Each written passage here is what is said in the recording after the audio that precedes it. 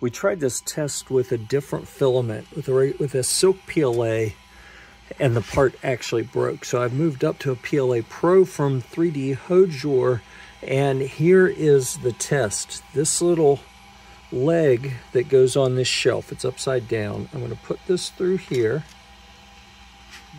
Okay, there. All right, it's gonna be tough to do with one hand, but this nut was printed on the in the same batch at the same time. So I'm going to attempt to put this on and screw it on as kind of a dimension and print quality test. So if I can make this work with one hand, then I think that speaks well for the dimensional accuracy and uh, what do we call that? Yeah, I'm just gonna stick with that, dimensional accuracy. So it went on and uh, let's see if we can make it turn any further. Went pretty easy up to a certain point and then it got a little bit more difficult. That is how I broke a, a leg on the other one.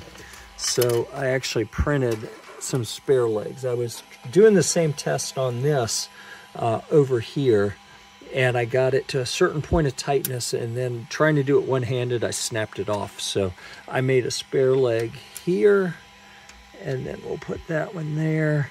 I'm gonna put these together, but so far I think that is a successful test. With one hand, very awkwardly even, I was able to get that to screw on. Yep, this PLA Plus prints really well in the Elegoo Centauri carbon.